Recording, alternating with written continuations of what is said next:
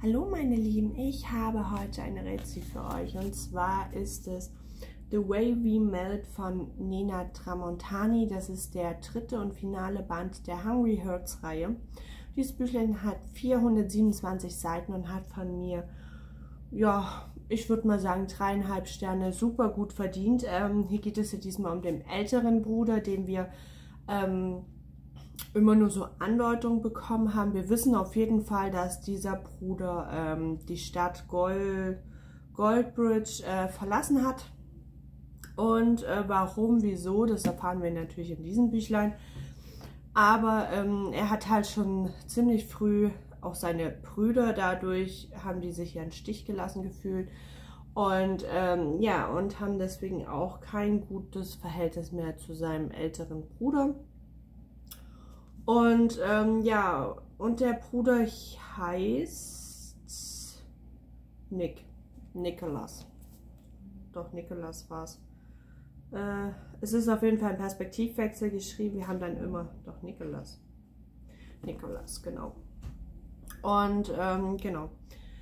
Äh, Nicholas ist äh, der, der sozusagen die Familie in Stich gelassen hat und die Familie ja dann natürlich sehr viel durchmachen musste. Das erfahren wir alles in den ersten beiden Bänden.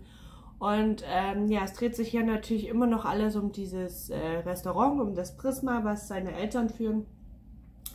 Und es ist ja so eine Mischung aus ähm, traditionellen griechischen Essen mit den ähm, oh, ja, traditionellen Essen, was es halt dort gibt, ähm, in Goldbridge plus Umgebung. Also die haben sich das so ein bisschen Multikulti da so angeeignet, dass halt sozusagen äh, richtig gutes Essen auf den Tisch kommt. Das Problem ist, warum es immer noch nicht so gut läuft, ist natürlich die Vermarktung. Und ähm, ja, da hat natürlich der ältere Bruder eine Idee, da er natürlich ähm, Food-Fotograf ist, beziehungsweise halt Fotografie mag und ähm, er sonst halt immer so Aufträge genommen hat, um irgendwelche Essensblog-Seiten beziehungsweise so die Homepages von den Restaurants mit verschiedenen Essensfotos und so äh, aufzupeppen und das gleiche wäre natürlich äh, kostenlos für seine Eltern, also halt für das Restaurant seiner Eltern machen. Und ja, da muss er natürlich mit der Darcy zusammenarbeiten und Darcy begleitet ähm, die Familie natürlich schon ziemlich lang. Sie ist nicht nur Angestellte im Prisma, sondern auch die beste Freundin ähm, des mittleren Bruders. Und ähm, ja, also sie kennt natürlich die Familiendramen und ähm, war oder wurde halt so aufgenommen in manchen Situationen wie so die Tochter. Und ähm, ja, dadurch ähm, kennen die zwei sich natürlich und ja, die zwei verbindet natürlich auch nochmal eine sehr spezielle Geschichte. Also ich würde es ja jetzt als speziell abbetiteln.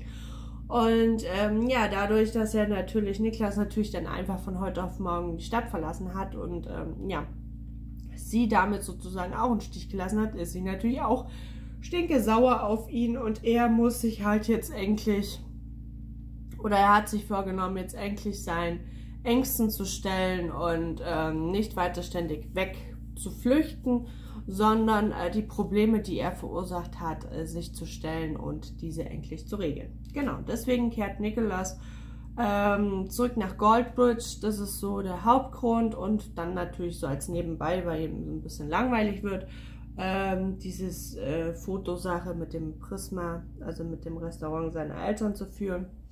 Ähm, ja, und ähm, das ist natürlich sehr spannend natürlich, weil die zwei ach, so ein bisschen anecken aneinander, äh, Darcy und Nicholas und deswegen, und die müssen ja dann dadurch, ähm, dass beide ja irgendwie dem Prisma helfen wollen, ähm, zusammenarbeiten und das ist natürlich schon sehr äh, lustig an einigen Stellen und ähm, ja.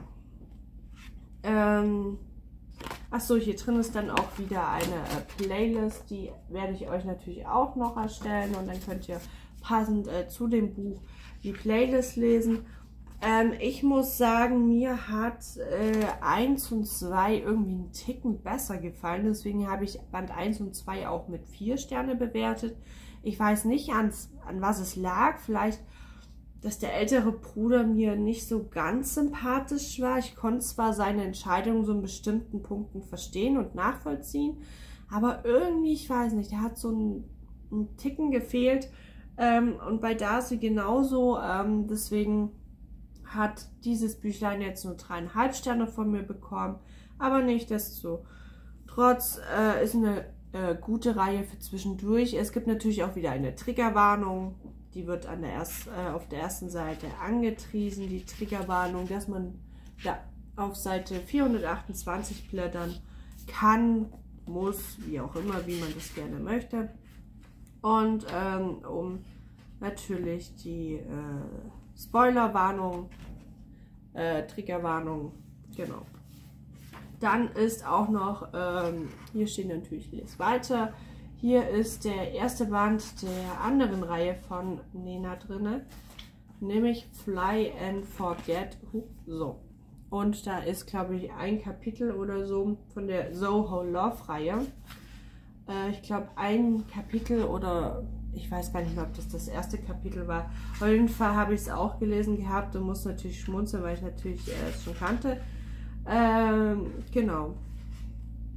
Und genau, da kann man auch sozusagen noch ein Stück von ihrem anderen Büchlein, von ihrer anderen Reihe lesen, wenn man sie nicht schon gelesen hat. Genau. Also ich muss sagen, von ihr habe ich äh, die zwei Reihen jetzt komplett gelesen. Ich bin gespannt, äh, was sie natürlich jetzt noch so äh, schreiben wird und in welche Richtung das Ganze gehen wird. Und ähm, ja, und Nena kommt ja oder lebt in äh, Stuttgart. Hier hat man dann auch noch die Autorin und äh, es ist auch wieder der Instagram-Account von ihr mit drauf. Und äh, da kann man ihr auch gerne folgen. Genau. Es ist auf jeden Fall ein Buch, was auch äh, hungrig macht, weil natürlich werden auch äh, Rezepte so oder beziehungsweise Essen so ein bisschen erklärt so wie man sich das so vorstellen hat. Und was ich auch toll finde, äh, unter jedem Sichtwechsel von dem Kapitel steht natürlich auch noch mal einen, ähm, ich glaube Songzeile war das. Ähm, ja, fand ich richtig, richtig gut. Okay, meine Lieben, schaut auf jeden Fall unten in der Infobox vorbei. Da könnt ihr dann in Ruhe diesen Klappentext hier durchlesen, weil ja, der spoilert dann doch schon ein bisschen. Und hier ist ja auch nochmal ein Klappentext drin, der extrem spoilert, wenn man natürlich die ersten beiden Bände noch nicht gelesen haben sollte. Klar, es ist ähm, in jedem Band ein anderer Bruder, aber diese Hintergrundstory mit dem Restaurant, man blickt nicht durch, wenn man einfach ähm, irgendein Band zwischendrin oder so liest. Also ja, deswegen würde ich euch schon empfehlen, die ähm, Bücher nach der Reihe zu lesen. Und ich finde es auch wieder toll, dass die Gestaltung, das mit dem Goldenen, ähm, ist ja auch bei den anderen, da ist es jetzt, äh, hier ist es zum Beispiel grün mit Glitzer und da war es so ein blau mit Glitzer. Also das fand ich schon richtig cool gemacht. Und ja, und es ist auch ein schlichtes, tolles Cover. Ja, nicht immer so beladen mit ganz vielen Figuren drauf oder so.